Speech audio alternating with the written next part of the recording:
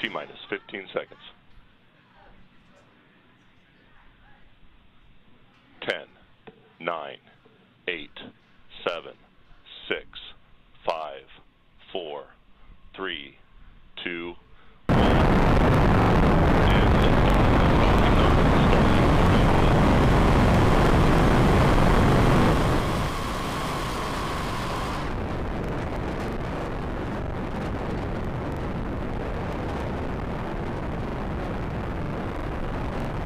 M1D chamber pressures are nominal.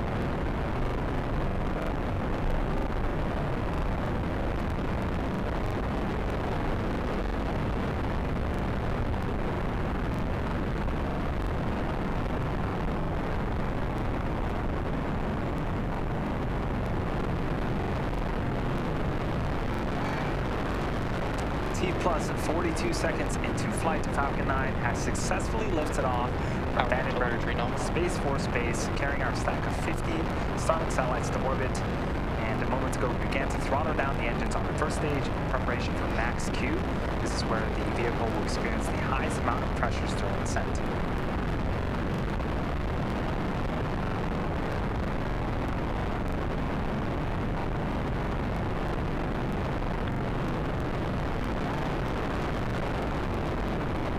Max Q. And there was Max Q.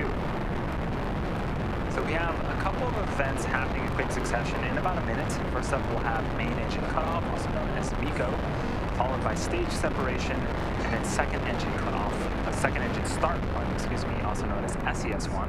Uh, first up, main engine cutoff. This is where all nine engines on the first stage will shut down in order to slow the vehicle down in preparation for uh, stage separation. During stage separation, the first and second stages will separate from one another. The first stage will make its way back to our uh, targeted landing zone. In this case, it's the uh, drone ship, Of Course I Still Love You, currently waiting in the Pacific Ocean. And the second stage will continue its journey with the third event, second engine start one. This is where the single Merlin vacuum engine on the second stage will ignite and propel the second stage along with the Starlink satellites into orbit.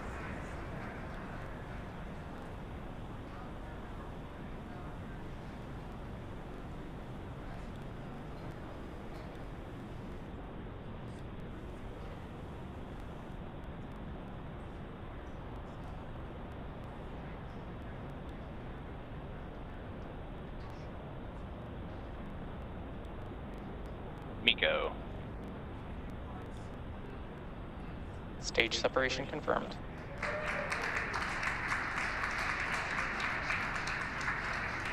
MVAC startup.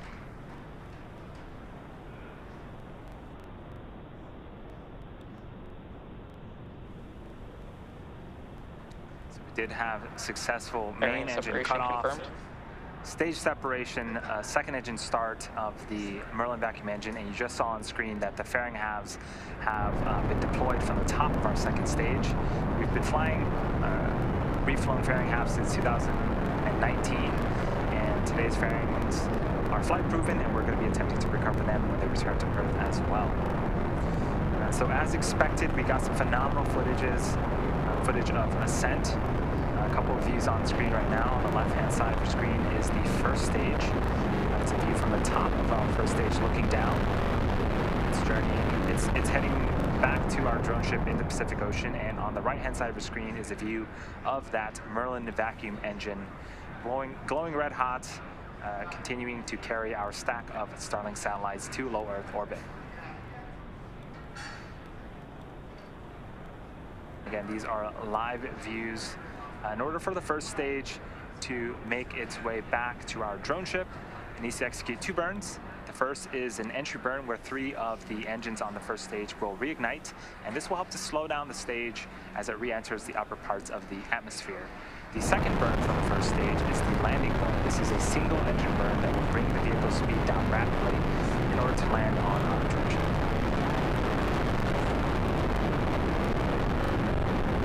So a few minutes away from those entry and landing burns. For now, we're enjoying some great views of both stages.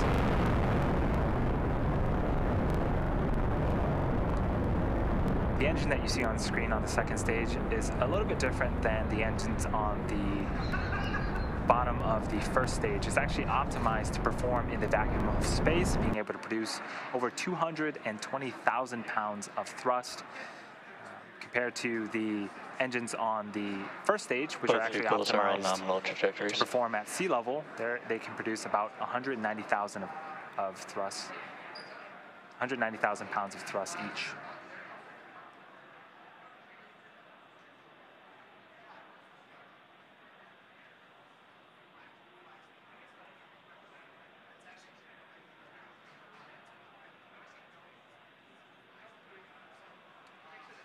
So on the left-hand side of the screen, we see some puffs of gas. That is nitrogen gas from our attitude control systems. And on the adjacent side of that, um, those puffs of gas, you can see two of our four hypersonic grid fins. These help to steer and guide the first stage back uh, to its landing zone. When we do do our landing burn, uh, the center engine can also gimbal or tilt, and that also helps to uh, direct the first stage and help it land as well.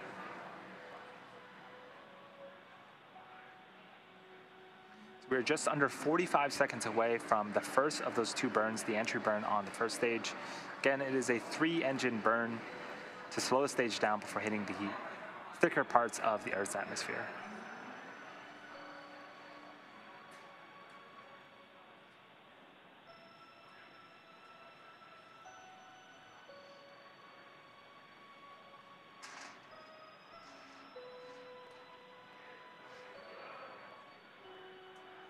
Things continuing to go smoothly for our second stage.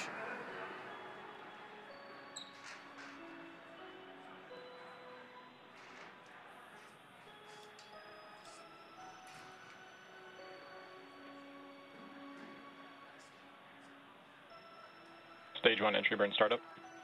And you can see on screen, three of our nine engines on the first stage have relit and are currently slowing down that booster. This burn is expected to last about 20 seconds. Stage one entry burn shut down. And with that, that is a successful entry burn. We have one more burn to go on the first stage in about a minute. Stage one, FTS is safe. After the landing burn ends and we attempt our landing on our first stage, uh, we're going to be listening for uh, the call out for SECO, also known as second engine cutoff one, and then a confirmation of good orbit. For today's mission, we are going to be having two coast phases. So after we shut off our second stage engine that you see on screen, we'll coast for about 40 minutes, and then we'll actually relight the engine for a few seconds, and then coast again before we deploy the satellites about T plus one, a little after T plus one hour into the mission. Stage one transonic.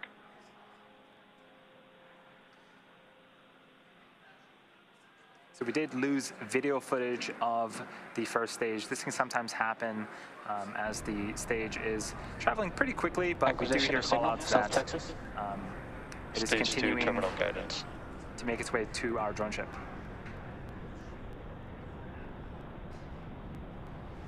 Stage two, FTS is safe. And here's Stage one landing burn. of our drone ship. We just heard the call out that the stage one landing burn has started. So if we are successful, this will be the fourth time that this booster has successfully landed.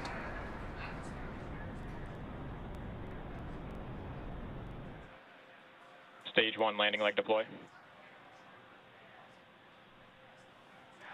Hearing callouts that we did get the landing legs deployed. Waiting for audio or visual confirmation of that first stage. And there Stage it one landing confirmed. Right in the middle of our drone ship. Seco one. That is a successful first stage landing, the fourth for this particular first stage booster. So we did hear call out for successful second engine cutoff of the Merlin Nominal vacuum orbit engine. insertion. And that was the call out we were waiting for as well, nominal orbital insertion. So now the second stage with our satellites are in a coast phase. Next up is second engine start 2, also known as SES2, and second engine cutoff 2, also known as SECO 2, uh, which is scheduled to start around the T plus 53 minute mark. From there, we're going to have payload deploy occur just after the T plus one hour mark. Until then, we're going to take a short break, and we'll see you all back here in about 45 minutes. Until then, sit back and enjoy the space jams, and we'll see you soon.